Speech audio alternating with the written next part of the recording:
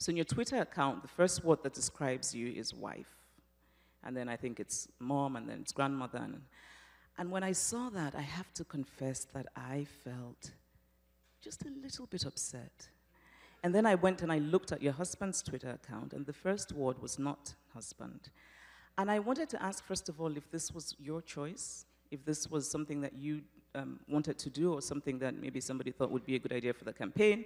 Um, and if it's your choice, whether you think it's fair for me to have been a bit annoyed by it. well, when you put it like that, I'm going to change it. and,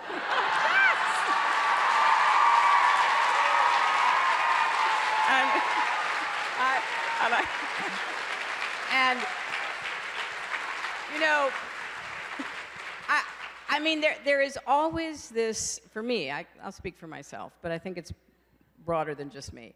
There's always this internal conflict when you are very uh, committed to your relationships, your family.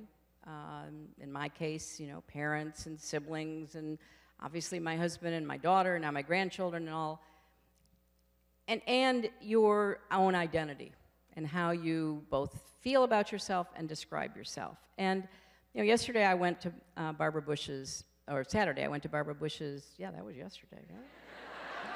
I went to Barbara Bush's funeral, and you know, she gave a very uh, heartfelt speech at Wellesley in, I think, 1991, in which she said, you know, at the end of the day, it won't matter if you got a raise, it won't matter if you wrote a great uh, book. It won't, you know, if you are not also someone who values relationships. And, you know, she got a standing ovation after there was a lot of, you know, concern and some uh, protest about her being invited to come speak. And I thought a lot about that because it shouldn't be either or.